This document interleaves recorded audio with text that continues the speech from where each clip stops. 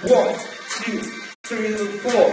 Joe by December on the mic. I be spitting rhymes like no tomorrow. I can do it no problem. I don't even break a sweat when I rap. I just spit it like no problem.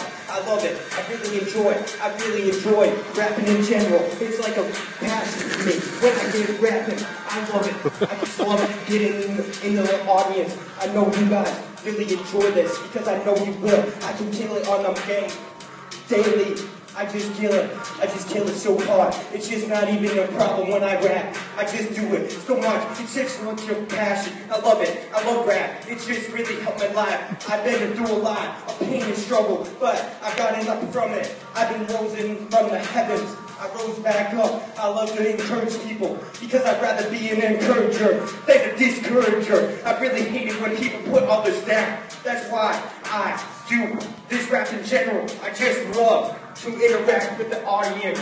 That's why I be walking around rapping. I know it's so hard for some others just freestyling stuff, but for me, it's like a breeze. A breeze that goes beyond the emotions. Oh, I know when I get on that spit, rhyme, time, time, time to the time. Enjoy it. I love to rap. Rap has always been a passion of mine. It's my life goal to become a rapper.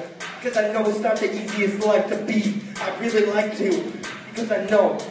Because some people, they shoot rappers and stuff just for being a rapper in general, which I can't even stand. I can't even lie. It's terrible what those kind of people do to me, or even do to other rappers, because they don't appreciate the art that rap is. It's just such an art that is such a unique art that can't even be on another skill level. I just enjoy it. I've just been doing it for only a little while now.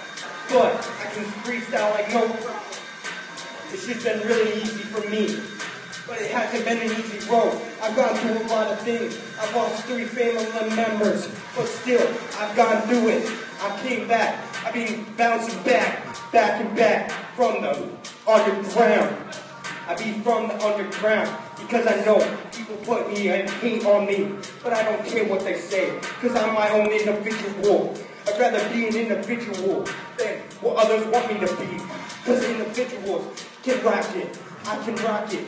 Rock it like a stage. I get off on it. I don't care what others think because people just be putting me down, down in the depths, the depths that I don't want to be. I'd rather be the person that raises people's hands so far. That's another level. I be on that level.